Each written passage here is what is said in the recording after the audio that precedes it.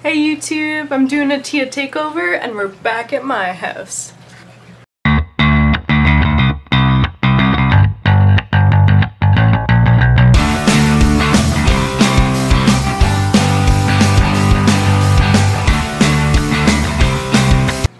Okay, this is my digs. Kiwi. Kiwi, come here. Say hi to YouTube. Hi Kiwi. So cute. Very cute. Come here. Oh, Kiwi. Oh, it's so cute. Very nice. So last time we were at my house, it was the Halloween party. I was in between some projects. We were having a lot of fun. I feel like we didn't really get a chance to look through the tank, um, kind of see what I was running. So I thought I'd have you guys here today. We can kind of go through all the changes that I've made, things I've set up, things I've moved around, taken down. And then I also have a cool product review. Hopefully it works. Uh, hopefully it'll be something that we can use in the store and offer to you guys, but I think we should try it first on my tank, because my tank is always the guinea pig for everything we're doing around the store. Um, so let's jump into that. Okay, so we got the macro tank here. Doing good, growing macroalgae as it should be. Um, it's a little safer now, as you can see the, the power strip is off the back there. I know uh, that was something on the list that I had to get done and I got it done. Um, not a whole lot crazy going on over here though. The rock flowers are now in this tank, which is really nice. They're looking good. Um, the the bee bird's got her bubble tip over here. She's so mean. Oh gosh. But she's happy. We love her. Oh! Hi Kiwi, you're back. What are you doing? Very cute. Yeah, so th this tank's getting an overhaul very soon actually. Uh, so I don't want to focus too much over here. Maybe I'll update you when that happens, but it's going to be a little bit before that is in progress. So right now we'll just leave it, let it grow, do it, do its thing. Um, over here before I had the rock flowers were in a tank over here, and that was that's actually this one that's on the ground. Got a project going on there, always something new going on at Casa Tia. Uh, the trees over here now too, Monstera. Looking good. Very nice. Uh, so this is pretty new over here. I had made this like nice stand. We have a tank up here now. This is kind of a holding tank for corals I don't really have room for in the main display. Um, it was kind of something quick. I needed a, something to work on. But there's some pretty cool stuff over here. I have my nice rhodactis are growing out in here. Um, ooh, urchin, looking good. there's a big leather back here, uh, Tyree toadstool. Very nice. Mushrooms.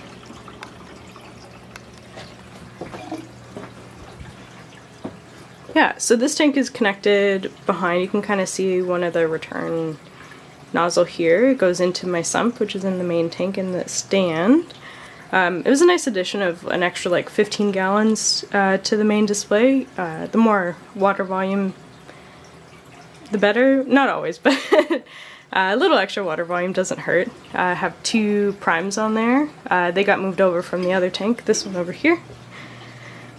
Um, truthfully is probably going to be replaced by that other tank that I just looked at, but I always need something to, to build and start up and take down, and that's how it goes around here. Gotta keep busy. So the main tank got a pretty large overhaul. I don't know if you y'all remember the the like three islands that we had going on. I, it is now one large island that goes from the right side or left side to the left side to the right side. Um, I was trying to kind of, I don't know, how, how would you say it? Like, really curate the, the corals that I wanted on it. So I was making little sections. So I have my Anacropora section here, let them grow out. Uh, my larger polyp hammers here. Get out of the way, Banggai. it's hard to kind of zoom in on them. The fish are in the way, but yeah, so my larger polyp hammers in a garden there. Why are you closed? We're shooting a video. Mm, they're looking good. Lots of gorgs. I think I added like two or three more since the last time you guys were here. There's a lot. You keep going along the acro sections, looking good. Got some a little bit of growth on them. Um, was, there was a pretty large change with the rock, so I can't imagine they were too happy with that, but none of them died off, which was probably the most important part, right? Uh, nice little sea cucumber. He's really happy there in the, the high flow. He gets a lot of particles from the water to feed on. Keep going through. Let's see. My acorn garden's getting a little bit of love, a little bit more love. Nice. Okay. My small branching, my thin branching hammers in the back there. These are my favorite, I actually like these guys the most. Ah, and the froggies and blastos. So I tried to section off everything a little bit better. This is something that I recently added into the tank. So this before was just an open space with some, you know, like the Maxi Mini anemones there, the lobos, a couple things that I have sitting on the ground. They were kind of scattered throughout here, but I thought, why not take all my zoas that I have and collect, and instead of letting them grow through the other corals, how about I cut them down from their like large rocks that they were on and throw them all onto this one rock and let them grow in together. So I'm very excited to see the growth on this. I have a different couple polyp sizes, the, Ked Reds there. They're quite small compared to the Rainbow Incinerators, a couple other the Zoas, but I'm very excited to see them grow in together. I think it's gonna look awesome. Nice little cave in this rock too, look at that. So the Blenny's been taking up house in there. It's been really nice. Um, so the main reason why I have you guys here today is because I have a six line that has become really mean. Uh, I know that like general rule of thumb for six lines and some more aggressive fish is you want to throw them in a tank last. Um, I didn't. He's um, so the main reason why I wanted to bring you guys home with me today is because I have a rogue six line wrasse. and she's been really good up until recently. Um, she wasn't the last one introduced to the tank, which I know you're normally supposed to consider when having them in the tank, but I've had her for a little bit. She's been following me around through a different couple different systems. Um, but I wanted to add a trio of Anthias. So I, I got these Anthias uh, they're just a lyre-tail, uh, really nice pop of color in the tank. I quarantined them. One of them sadly didn't make it through quarantine, but I know that's a little bit common for them. So I have a nice pair now, and I, I tried to put them in the tank, and they didn't uh, they didn't do so well. Uh, my six line, she got right in there and started beating the bejesus out of them, and I had to pull them out. I tried to catch her first, but I didn't really have um, a method to catch her. Like I tried with the net, I tried the, the bottle method where you like invert the top of a, a water bottle. It didn't work, uh, so I had to rip the Anthias out. And I really want the Anthias in this tank, and she could definitely go in one of the other two systems that I have, so let's, uh, let's take her out of the tank. Okay, sidetrack. Look at this really cool rug that I made. Very awesome, been up to some cool stuff. But back to the fish trap let's open it up. Check out this product. I, I know this is similar to something you guys might have seen. It's the, the Tank Mates um, Bubble Trap, Fit Bubble Fish Trap. Very cool product. I'm glad there's uh, something innovative for fish traps on the market. I'm glad these guys came out with this one. So I'm really happy overall with these products that are being made. Everyone's getting a little bit more innovative and trying to make reefing easier and here we go. So here's the two halves of it. There's the magnet that sits on the outside. These clip together. It's pretty pretty straightforward. A little hard to do with one hand, but I think we can do it. There. I think there's a little oh part that sticks on the bottom. So we have a pipette. There's supposed to be a little silicone piece. Oh. Might have already lost it. Uh oh Okay, I think that was a pretty important piece. So there's supposed to be a little silicone piece that sits here to block the food. Oh, there it is. Never mind, I found it. This piece goes in the bottom just to prevent food from dropping out. Um, so we put it in the top and it's not going to escape through here.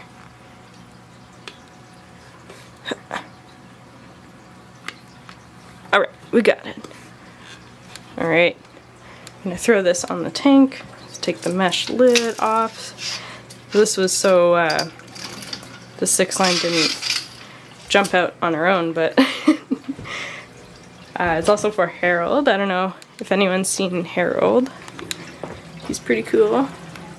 Harold the Hawkfish. Oh, he ran away. There he is, Harold in all his glory. Okay, back to the fish trap. Let's get it in. So I haven't fed the fish for two, two days. Oh, I don't know how I'm gonna do this with one hand. One sec. Okay, I got it on. so I haven't fed the fish in two days just to get them uh, more food motivated. Hopefully it works pretty quickly. I know sometimes they can be a little apprehensive about new objects in the tank, but I like that this one's super clear, so I, um, it's supposed to help with easy uh, acclimation to having this in the tank for the fish. Uh, let's see if it works. I think for the six line I'm gonna need to attach some string onto the end here just so I can sit a little bit further away on my nice little reefing couch and watch her go in the trap fully. So I'm gonna attach the string, I'm gonna get some food, and then we'll be back and we'll see how quickly we can catch her. I'm also gonna go over and turn off my, uh, my flow here. This is my fusion. Let's see, turn off the return pump. I'll turn off all of my wave makers. Um, just so none of the food flies out. I know last time we were drinking wine, today's bubbly. so let's go over, put some food in. Let's see, who goes for it? I think the fish can usually tell when something's up because I turn off the flow when I'm working in the tank. But I don't know. Maybe they'll be hungry enough where they they won't mind. I think if I put enough in, they'll be okay.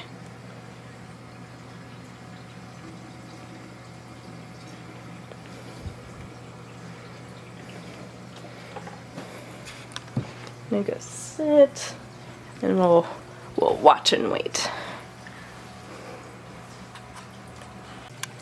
Gonna put a little bit of food in here in the top.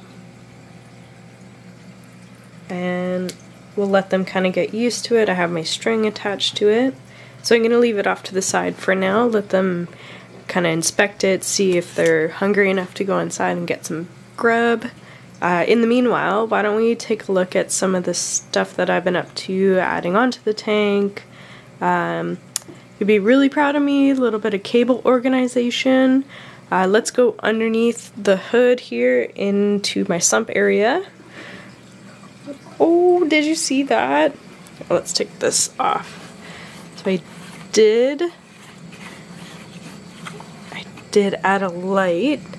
How cool is that? So I can actually see how dirty my filter floss is, see what my skimmer's up to, see how, oh god, I really need to take some of the Chaeto.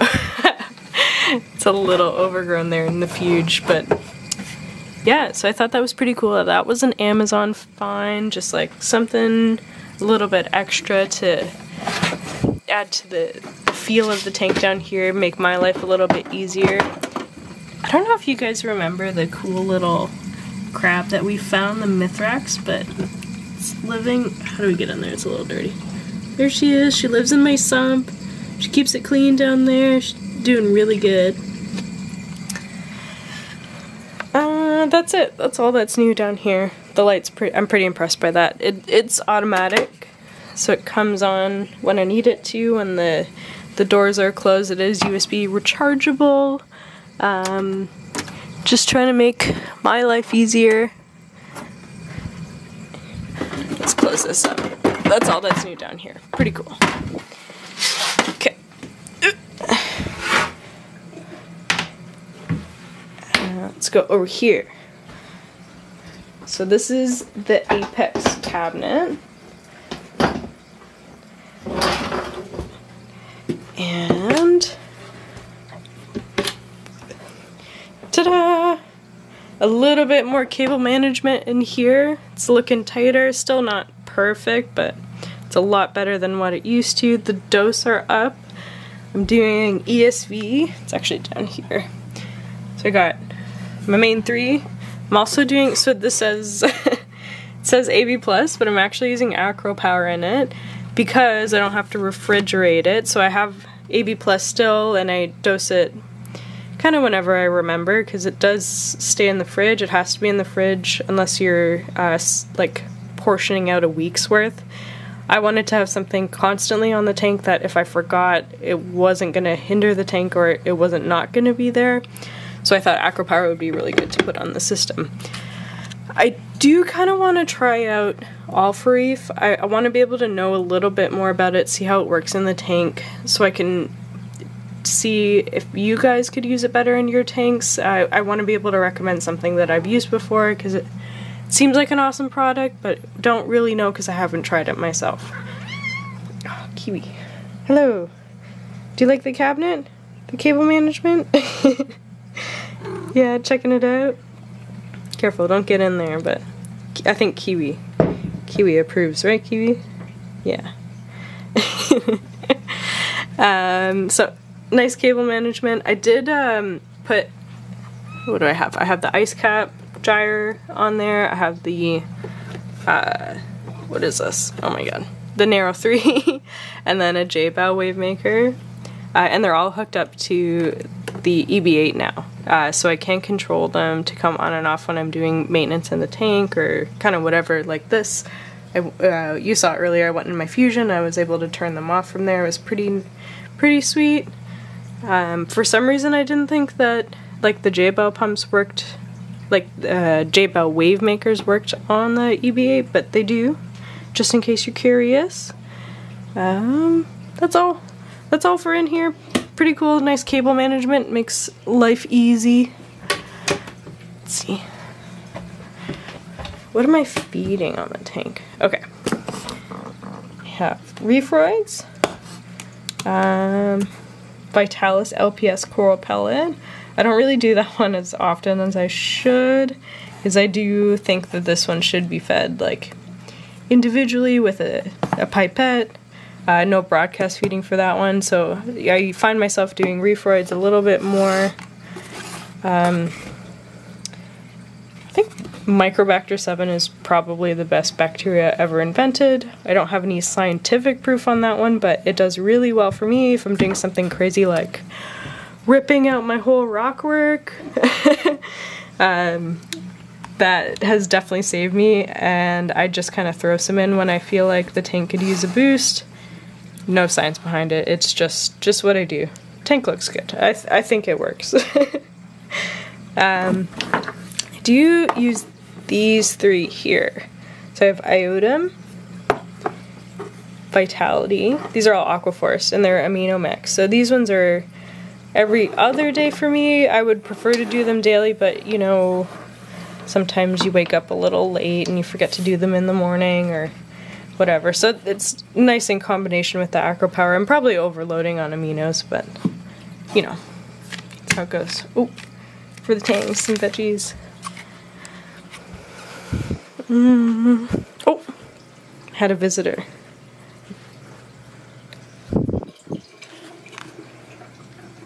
Mm. Okay, I'm gonna see how this goes. I'll probably have to sit on it for a little bit. Oh,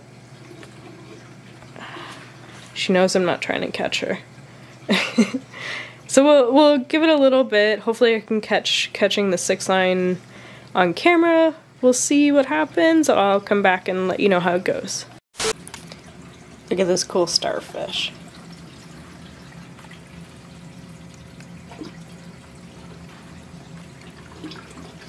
Very cool.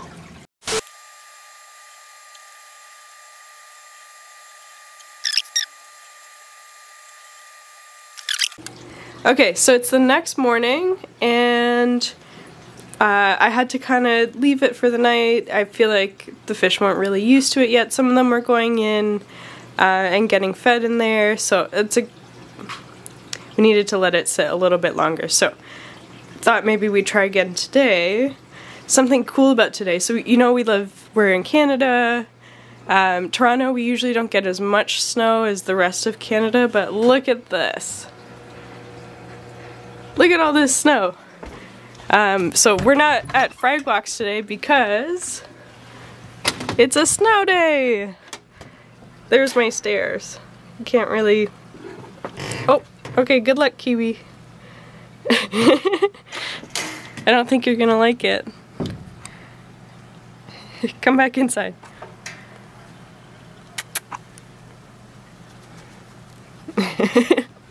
so yeah, snow day. So we're gonna catch the fish today and um, we'll stay nice and toasty, maybe have some hot cocoa, but that's gonna be today.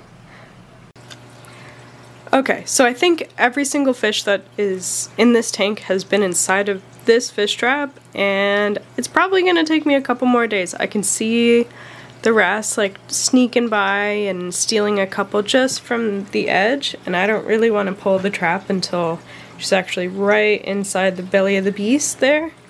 Uh, otherwise, I don't think we're going to catch her because she's so fast. So, maybe we can see this actually in action, maybe catch one of the other fish. Um, and then we'll we'll wrap this up. I know it's been uh, an interesting video so far, a little bit unsuccessful, but that's how it goes sometimes. Um, maybe I'll give you guys an update if I actually catch the wrasse. It's it'll happen eventually. Um, I've tried so long so far. Uh, why not wait another couple days, right? Whew. There it is. It works. So I'm gonna let Tori go. Poor Tori. Sorry. You're okay. Be released.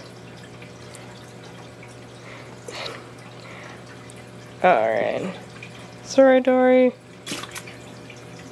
Okay, she's out. She's okay. um, yeah, so I'll set this back up for a couple days and see what happens. Um, let us know if you want access to this. Uh, if this should be something that we implement in the stores, a rental process. I know not everyone wants to go out and buy a fish trap. Um, I know I definitely didn't want to buy it just to catch one cheap little six line wrasse. Um, and that's it. That's I'm gonna wrap up today. There's a couple things going on here at Casa Tia. Have some upgrades, some cool stuff. Um, but I'll catch you guys back up with that at a later date. Um, thanks for stopping by and